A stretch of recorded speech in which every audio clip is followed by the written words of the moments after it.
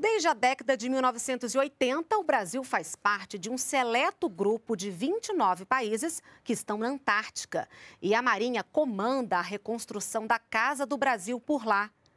A estação Comandante Ferraz, destruída por um incêndio há sete anos, está nos últimos preparativos para a reinauguração prevista para 2020 o nosso enviado especial à Antártica, Maurício de Almeida, que está em viagem junto com a missão brasileira, vai mostrar como a estação está sendo reconstruída.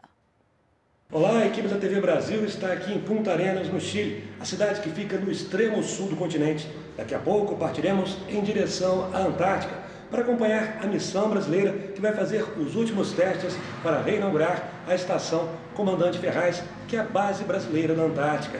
A estação vai ser reinaugurada em janeiro, por isso essa viagem é muito importante. Vão ser feitos os últimos ajustes. Essa estação foi completamente reconstruída pelo governo federal numa obra que custou aproximadamente 100 milhões de dólares. Ela conta com equipamentos de ponta considerados os melhores do mundo. Mas chegar à Antártica não é uma tarefa fácil.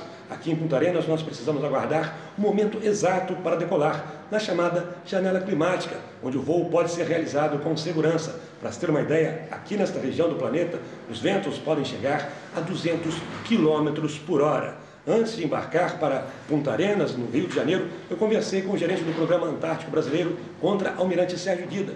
E ele falou sobre a importância desse programa brasileiro aqui na Antártica. A gente tem que ter muito orgulho do Brasil estar fazendo essa terceira, é, essa 38ª operação na nossa Antártica. É um local distante, inóspito, a dificuldade logística é muito grande, mas o trabalho tem sido de grande valia.